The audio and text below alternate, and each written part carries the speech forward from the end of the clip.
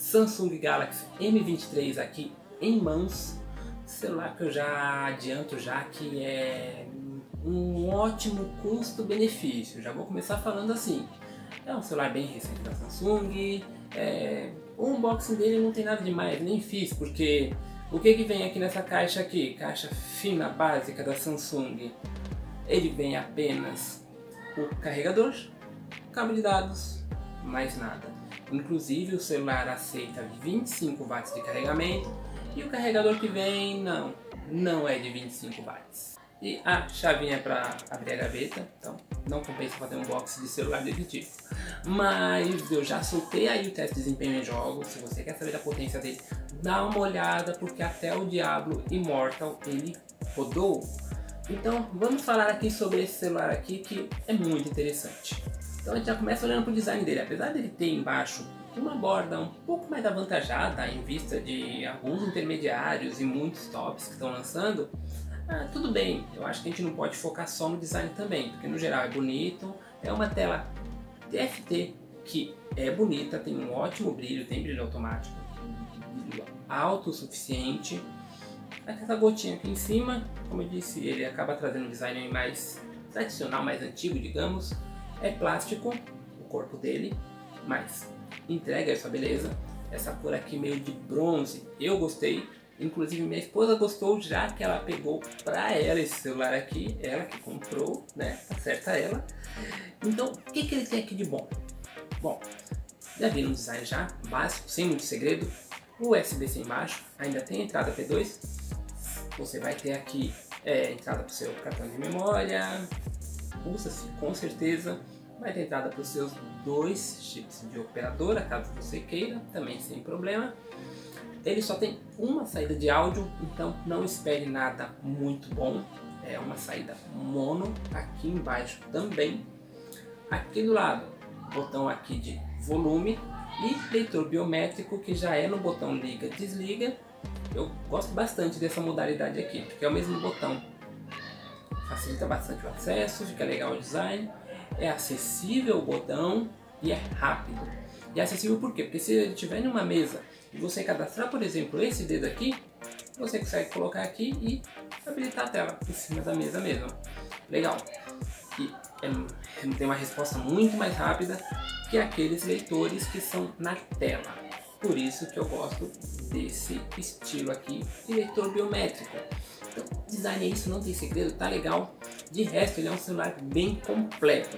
Vai ter Bluetooth 5.0, não é o último, mas está ótimo. Tem todo aí aquele conjunto de GPS bem completo também. Tem NFC também. Tem toda então a conectividade básica até a mais, digamos, né? Porque como eu disse, tem um NFC.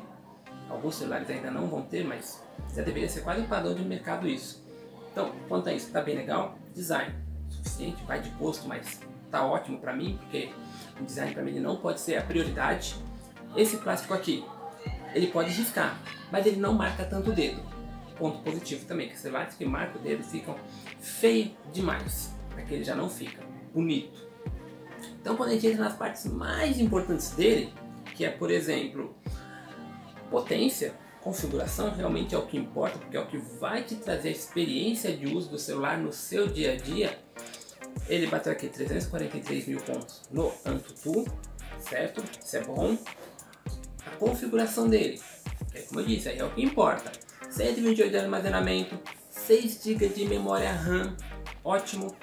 Snapdragon 750G é um chipset 5G então tem uma potência legal, tanto que eu falei, teste de desempenho em jogos. Eu mostrei lá o que ele rodou e como ele rodou. E eu gostei bastante do resultado.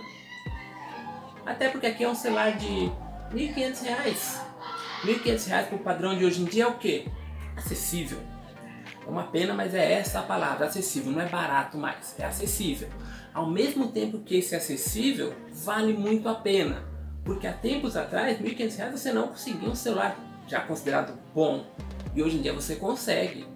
Esse intermediário aqui, como eu falei, tem um chipset legal para você jogar. Eu fiz o teste. Vai lá dar uma olhada se quiser. Mas você já viu a configuração, 128 de armazenamento, 6 GB de memória RAM. Então ele é bem completo, tem potência legal, então ele já dá é, resultado bom para você usar no seu dia a dia.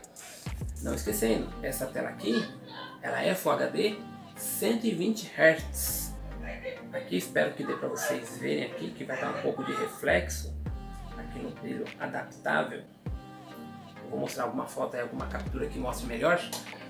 E se vocês escutarem um barulho a mais aí, são crianças ao redor. Relaxa. Vamos focar aqui, mesmo com o barulho externo. Então, tem essa tela de 120 Hz que não é para qualquer aparelho. Muitos ainda tem 60, outros tem 90. Aqui tem 120. Então você vai ter aquela fluidez que quem está se acostumando já não quer muito voltar atrás. Esse é o fato. Então, 120 Hz nessa tela. Tela foto brilho, ótima, armazenamento bom, memória suficiente para você ter a transição de aplicativos, poder instalar seus jogos sem dificuldade, poder jogar sem dificuldade, bateria de 5.000 mAh para você usar sem medo, dura dois dias sem dificuldade se você não acabar com coitado de tanto jogar e ver vídeos, com uso mais moderado. Com uso mais intenso, ainda assim vai, usar um, vai durar um dia sem muita dificuldade. Isso é um fato. Não esquecendo que a tela é de 6.6, a pegada é boa considerando os padrões atuais, porque não tem mais celular compacto, esquece. Celular compacto hoje em dia você tem que pegar o celular topo de linha, onde você vai gastar 4 mil reais ou até mais muitas vezes. Então, esquece. Até porque para mim acho que muitas vezes nem compensa. A gente está consumindo muito conteúdo, então telona. Telona, é isso mesmo, telona. É o legal, é telona. Estou dando muito clique aqui sem querer.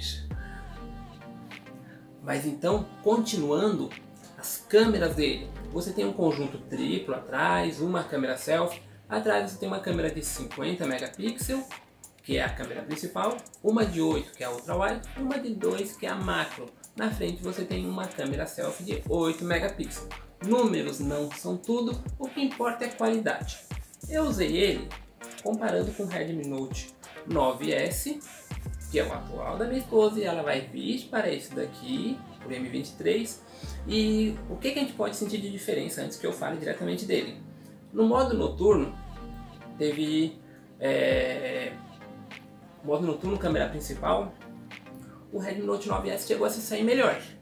Agora quando a gente vai para o retrato, aqui já, se, já chegou a se sair melhor. Então nesse ponto vamos ter alguns altos e baixos. Mas vamos falar do geral da coisa, diretamente aqui no M23. Câmeras, no geral, muito boas. Câmera principal vai ter boas capturas, vai ter um bom HDR, vai conseguir ótimas fotos sim, sem dificuldade. Ultra wide também. Quando você vai para a parte noturna, sempre vai ter aquela queda de qualidade, ainda mais na ultra wide, mas eu ainda gostei do resultado sim sem muito problema. A câmera selfie é 8, mas é boa. Ainda mais quando você tira selfie com um fundo que tem, por exemplo, no sol. Um Redmi Note 9S ele se dá super mal, fica aquele fundo esbranquiçado, estourado. Muito Xiaomi atual ainda está assim, Motorola, muitos atuais estão assim. A gente tem que subir sempre um pouquinho o nível deles para você começar a ter um resultado mais aproximado. Mas o HDR da Samsung ainda é melhor porque a Samsung ativa o HDR mesmo quando você vai tirar um retrato com fundo desfocado e alguns aparelhos ainda não fazem isso. Então, o resultado ótimo, a qualidade é boa o suficiente sim, vai ser aquela foto bem agradável de se ver na hora, sem precisar de edição de cor nem nada na maior parte do tempo. Foto para você já usar na rede social sem problema algum, do jeito que a gente usa e gosta hoje em dia. É assim que é, não adianta fugir. Então, a câmera traseira, como disse, tem esse resultado legal também, retrato também. Não adianta exigir muito mais do que é, porque se você quer um retrato perfeito, você vai ter que ir para câmeras DSLR.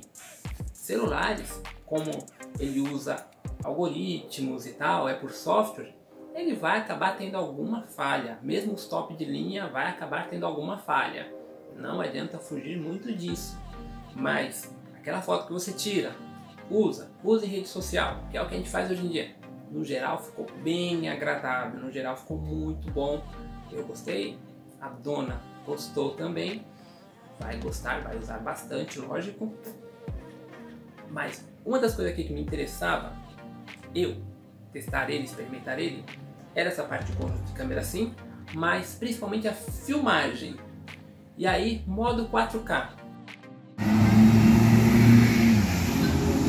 Teste de gravação de vídeo agora em 4K. Em 4K dá para perceber que ele perde um pouco da qualidade da estabilização. Teste de gravação de vídeo e a estabilização até que parece estar bem legal, porque eu estou caminhando normalmente. Vamos ver como é que vai ficar no computador. Teste de gravação com a câmera ultra wide também parece ter uma estabilização legal, ao menos olhando pelo celular. E em 4K ele não faz gravação com a ultra wide. Teste de gravação de vídeo com 2 de zoom e é preciso ver o resultado final no computador primeiro, mas também parece ter uma estabilização razoável, mas pode haver uma perda de qualidade na imagem. E o teste de gravação com a câmera selfie, que aparentemente dá uns tremidos, não parece estar tão estabilizada. Tem 4K na câmera principal, é, não adianta exigir muito de um 4K, ele vai filmar, mas se você se movimentar a estabilização não vai ser muito boa. A, a câmera selfie dele também, também não tem uma estabilização muito boa. Você vai ter que fazer aquele movimento mais suave, mais parado. Aí vai ficar legal para você fazer boa parte das suas filmagens sem, fazer, sem exigir muito de baixa iluminação, iluminação complicada. Não adianta. Nisso, muitas vezes até topo de linha vai ter suas dificuldades. Vão ser melhores, lógico. Não é uma discussão. É só não exija mais do que R$ 1.500. Inclusive por R$ 1.500 às vezes ele supera alguns que são mais caros. Isso acontece também, é comum. Mas o que, que realmente eu gostei? Sua câmera de filmagem, câmera principal, Full HD. Tem uma qualidade boa, tem uma estabilização boa o suficiente. Você já vai poder usar aí para fazer é, vídeos bem mais agradáveis e o que me surpreendeu foi quando eu ativei a Ultra Wide. A Ultra Wide eu achei muito legal mesmo a suavização que tem de estabilização quando você está andando e filmando. Ficou melhor que a câmera principal, na minha percepção, aqui no celular. Eu olhei diretamente aqui, não transferi para o computador ainda as imagens antes de gravar, certo? Então fique atento a isso. Mas a estabilização aqui na tela a ultra wide estava melhor ainda que a câmera principal. Então eu achei muito legal para você fazer aquelas capturas de passeios, rolês, viagens, praia, é, campo, trilha. Parece estar tá bem legal para isso. Quando eu tiver a oportunidade, com certeza ele será usado nesses momentos. Então, falei tudo aqui que tinha para falar sobre ele já tá com a película 3D, já tem capinha comprada, é, teve que comprar. Temos que comprar capinhas ainda. E gostei bastante. Gostei bastante. Eu acredito que hoje ele é um dos celulares ideais para você comprar, pensando não só nessa faixa de valor, e sim naquilo que você precisa ter também. Por quê? O que, que você ganha acima de R$ 1.500 em um celular? Comparando com esse celular aqui, o que nós temos no mercado. Uh, você vai jogar os mesmos jogos, uma qualidade um pouquinho melhor às vezes. Genshin Impact estava rodando no alto. Claro que se de repente chegar algum ambiente ali mais complexo, pode ter uma queda, mas estava rodando no alto mesmo em luta. Então ficou bem legal mesmo. Claro que não vou comparar a potência com o Snapdragon 888 da vida. Esquece, não é isso. Mas é o que você ganha mais gastando muito mais, certo? Então aqui, você vai acabar tendo esse conjunto que te resolve a vida. Entendeu? Resolve a vida. Para todo usuário que não, não precise de algo profissional. Em câmeras também, bateria também. Dá para tirar ótimas fotos, boas capturas de vídeo, vai jogar, você vai fazer tudo. Então, é um celular super equilibrado. Por R$ 1.500 ele está ali no ideal, onde gastos a mais você vai ter coisas a mais que você não usa normalmente. poucas pessoas realmente vão usar a mais. Seria diferente se esse celular aqui, por exemplo, não rodasse alguns jogos. Aí falaria, pô, ele não, não resolve a vida de muita gente, ele não roda os jogos. Mas aquele rodou.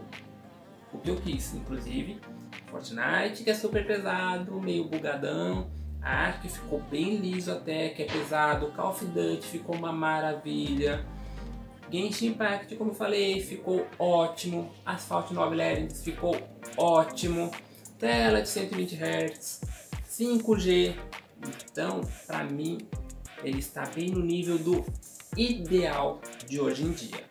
Então cuidado ao pagar mais e não ter essa qualidade de câmera, não ter os chipset bons 5G, cuidado ao pagar mais e não ter isso. Muita gente vai comprar um iPhone 11 e não vai ter isso. É uma realidade, não é achismo não. Não tem.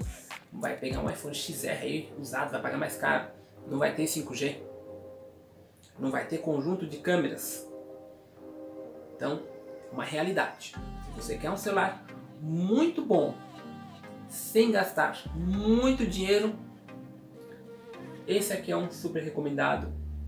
Eu usaria ele para fazer várias produções sem dificuldade. Eu falo produção já pensando já em algo até um pouquinho mais profissional, caso você saiba. Uma produção um pouquinho mais ali social media, por exemplo. Captura de imagens de ambiente, de produtos, filmagem. Você já consegue resolver muita coisa aqui já com esse celular aqui, com certeza. Então fica aí a indicação, fica aí o vídeo, fica aí o exemplo. Outros aparelhos também podem resolver situações e interesses diferentes. Mas é isso, segue o canal, dá o like, já falei bastante. Segue os outros canais também que eu ainda vou começar a trabalhar em cima deles. Tem um videozinho lá bem fuleiro que foi só para ativar o canal. Ainda vou começar a fazer produção de qualidade. E é isso aí. Muito obrigado, fica com Deus e até o próximo.